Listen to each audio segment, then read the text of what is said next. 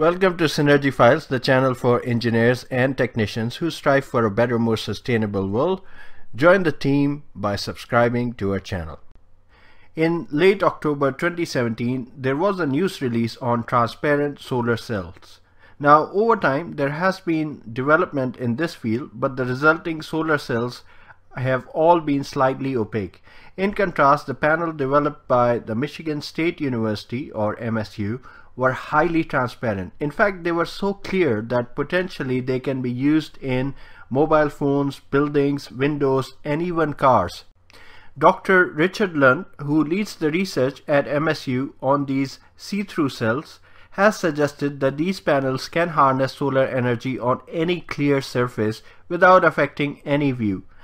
These panels only use the portion of light that is invisible to our eyes. Therefore, any light that is in the ultraviolet range or the infrared range is the one that gets absorbed by the panel. The remaining light just passes through.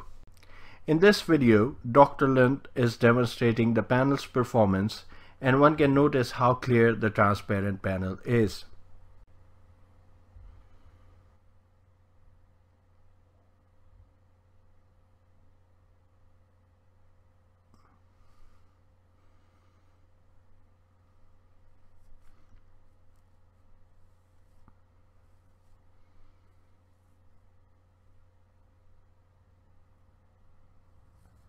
These solar cells are made out of organic molecules. At present, they are only 5% efficient as compared to conventional panels that are 15 to 18% efficient.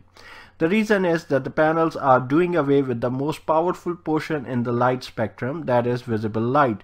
So in theory, for transparent solar panels, it will be very difficult to overcome conventional panels in terms of efficiency. Nonetheless, these cells still have a huge potential if seen as a replacement for normal glass. It has been estimated that if these cells were to replace windows in the US, they could provide as much as 40% of the total electricity the US consumes without requiring any additional land area. This means a huge drop in fossil fuel based electricity. Note that glass covered area has been estimated to be 5 to 7 billion square meters.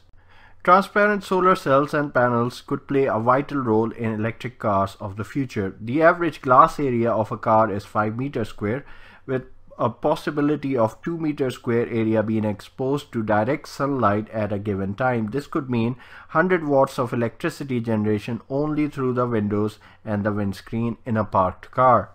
As this technology of transparent solar cells is based on inexpensive organic material, when it does come out, it would be competitive in price. Note that for most technologies to roll out commercially after lab research, it can take up to a period of 5 years.